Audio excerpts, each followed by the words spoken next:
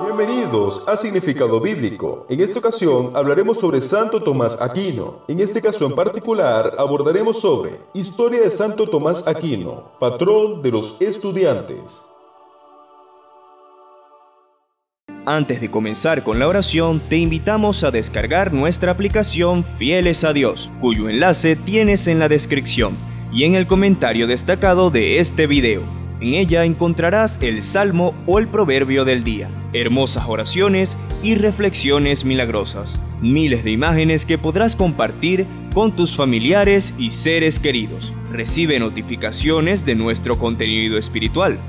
Descarga gratuita en Play Store y App Store para tu dispositivo móvil. Que Dios te bendiga.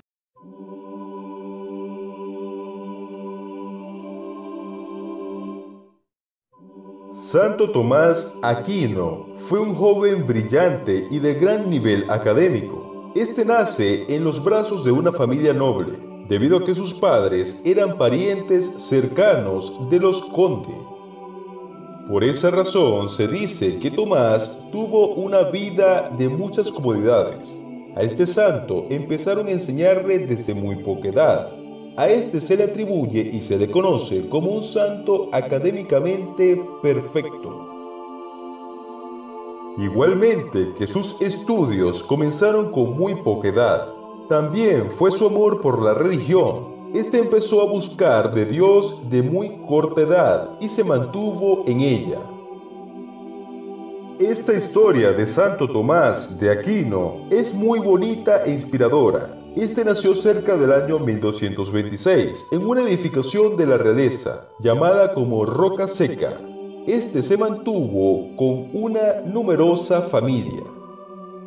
Su padre era descendiente de uno de los caballeros reales, lo cual le daba a este santo una buena posición económica, ya que estaban bien emparentados con un rey cuyo nombre era Federico II. También su madre era de sangre noble, ya que pertenecía al linaje de los condes de Taete y Chieti siendo este santo el menor entre sus hermanos. Según la historia, relata que antes que este santo naciera, vino a la madre un santo que profetizó que su hijo sería santo y sería un siervo de Dios. El hermano, al enterarse de que éste estaba tomando las clases, lo secuestraron sus hermanos, escucharon la noticia y decidieron secuestrarlo donde duró un año completo preso por su hermano. Esta acción fue tomada por su hermano para hacerlo que desistiera en su clase. Con el tiempo de muchos intentos pudo salir de donde estaba preso. Se fue a París a aprender la Biblia y también estudió sobre las sentencias de Pedro.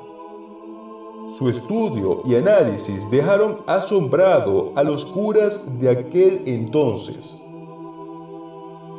Comenzó una carrera universitaria en la ciudad de París. A este santo le dio clases otros maestros, los cuales se llamaban como Alejandro y Magno.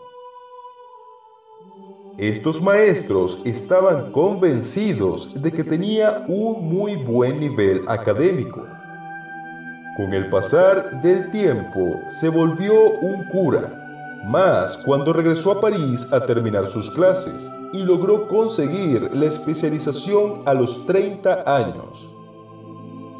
Este se convierte en maestro de la universidad. Este se convirtió en un idealista. También luchó con el legado de Aristóteles del Evangelio según Juan y las epístolas de Pablo. Este también dedicó tiempo a la lectura y ética moral. Si el video te sirvió de ayuda, me gustaría que lo dejes en la caja de comentarios. También puedes dejar tu me gusta, suscribirte y compartir este video para que llegue a más personas.